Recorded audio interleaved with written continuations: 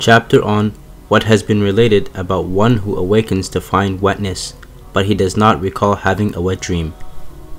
Aisha narrated, The Prophet, peace be upon him, was asked about a man who finds wetness and he does not remember having a wet dream. So he said, He is to perform ghusl. And he was asked about a man who had a wet dream but does not find any wetness. So he said, No ghusl is required of him.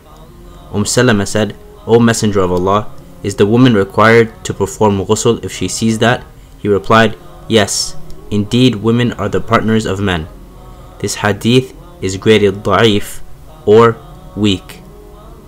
Comments This is what Ibn Abbas meant about water is for water, i.e., taking a bath is not compulsory if water, wetness of semen, is not seen.